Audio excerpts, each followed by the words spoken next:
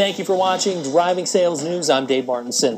One of the highlights of Driving Sales President's Club 2017 was the Most Valuable Insight competition. This forum gave industry thought leaders a chance to share cutting edge ideas with an elite automotive retail audience.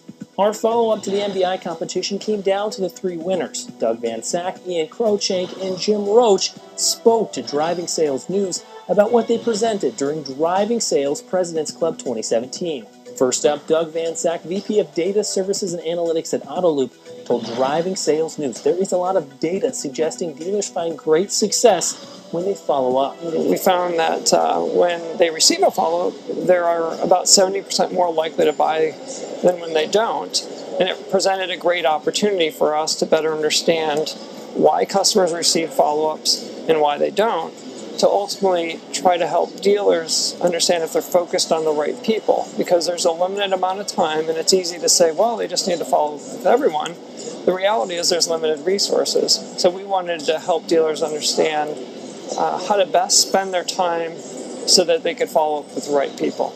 Next up ian Cruickshank, vp sales and marketing at Speed Shift Media spoke about how the insight that won him an award was all about website touchpoints. We explored categorizing all of the different touch points that you can interact with on a vehicle detail page. But we also tracked links, whether it's a link to a uh, an hours and directions part of the site, or a link externally to um, Carfax or something like that. We tracked social sharing, chat.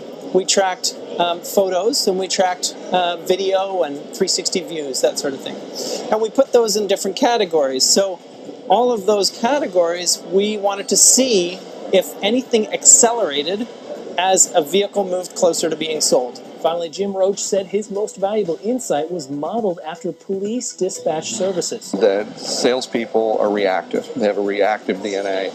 And from a past life uh, in the 80s and working as a sheriff's deputy, I worked around a lot of reactive personalities in the sheriff's department and realized that dispatching was the difference. So we studied 911 systems, uh, LAPD, Harris County Sheriff's Office, and came up with the technology that dispatches the highest triage opportunity to sell a vehicle the same way that a police officer is dispatched, and we make sure that it's executed.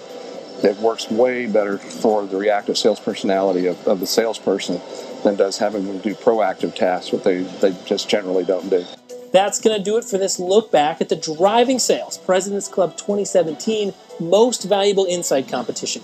For more stories about what you might have missed from the conference, be sure to check out drivingsales.com backslash news. For Driving Sales News, I'm Dave Martinson.